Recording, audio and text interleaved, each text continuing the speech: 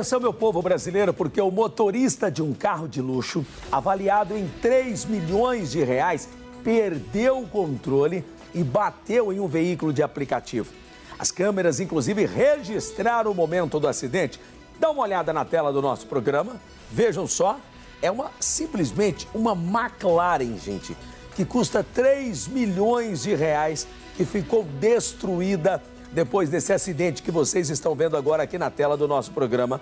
O condutor, inclusive, do carrão acabou perdendo o controle e bateu o veículo em um veículo de aplicativo. Vejam só essas imagens. A minha querida amiga Dani Brandi tem mais informações para nós. Se teve feridos nesse caso ou só foi danos materiais. Dani Brandi, mais uma vez, bem-vinda ao nosso programa.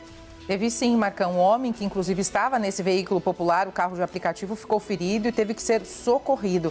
Nós não tivemos informações atualizadas sobre o estado de saúde dele, mas as imagens, como você bem disse, mostram o momento em que o carro de aplicativo estava parado para fazer a conversão, quando é atingido violentamente aí por este veículo de luxo, como você bem disse, é uma McLaren, veículo avaliado em aproximadamente 3 milhões de reais. O carro, Marcão, ficou completamente destruído, os pedaços ali do veículo veículo ficaram espalhados pela via. Isso aconteceu na orla da praia em Maceió. Agora, prejuízo para o dono dessa McLaren? Também, Marcão. Por quê?